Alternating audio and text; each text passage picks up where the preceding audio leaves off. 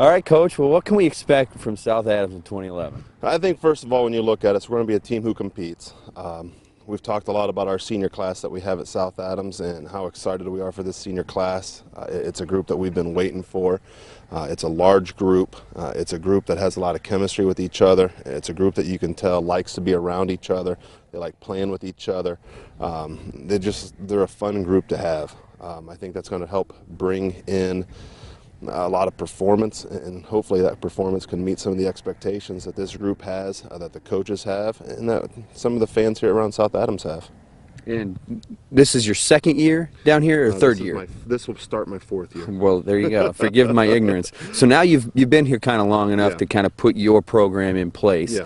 Is it now you can see it kind of catching on? Yeah, and this is as we got as we've been here now for the fourth year, and this is kind of the group that we had targeted to say, hey, they'll they'll have their whole high school career with us, and let's make our mark with them. Uh, it's a group that has a lot of talent that we can build around. Uh, we have a lot of skill places and pieces in place that we feel that we can take advantage of this year.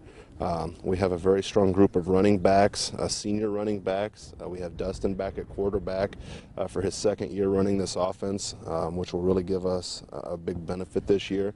I think last year we started off a little slow just due to the fact that we hadn't really experienced option football before.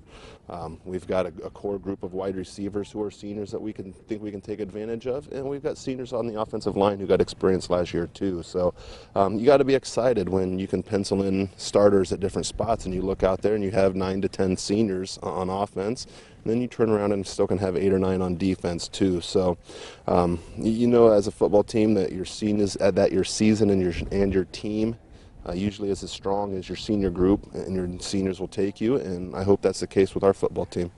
How many starters do you return on both sides? Um, without having it in front of me, I would say we have about six or seven on offense who come back, and about five or six on defense who come back from last year.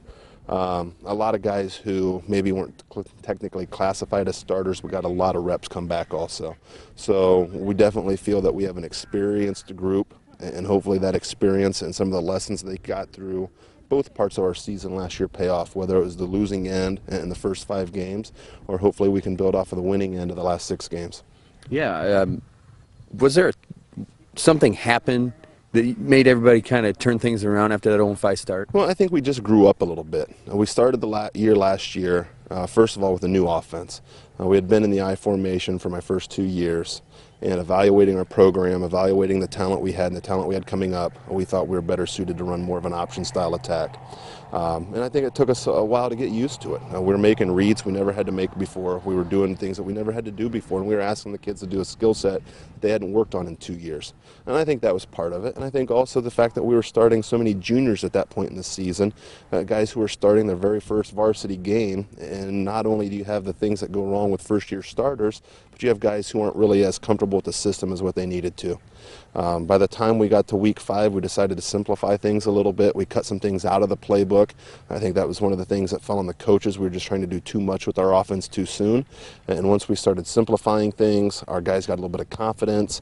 They had five games under their belt. They got a little bit of uh, they got a little bit of success, um, and it was able to breed some confidence in them. And they started playing well. As everybody knows, the more confident you are in something, the better prepared you are for something, the better results you're going to have with it. And I think that's really what happened. I think we just physically grew up a little bit, and I think we just got some confidence. And that confidence hopefully can carry over to this year with those guys who started last year. Are you seeing that confidence here in the early part of practice? Oh, absolutely. Um, this is a group, and Cole and Dustin, I'm sure, have talked about that too.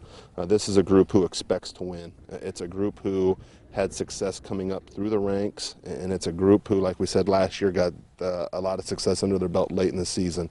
And they've come into this off season and they've come into camp here very uh, motivated, uh, very driven, um, and I couldn't be happier with how our camp has gone. Uh, we've been pretty crisp. Uh, it's been pretty physical. The guys have had fun flying around, uh, and they provided a lot of leadership for the younger guys, and hopefully a lot of, uh, hopefully a lot of motivation for them, but also a lot of just providing the example and setting the tone of, of how we expect our kids to work.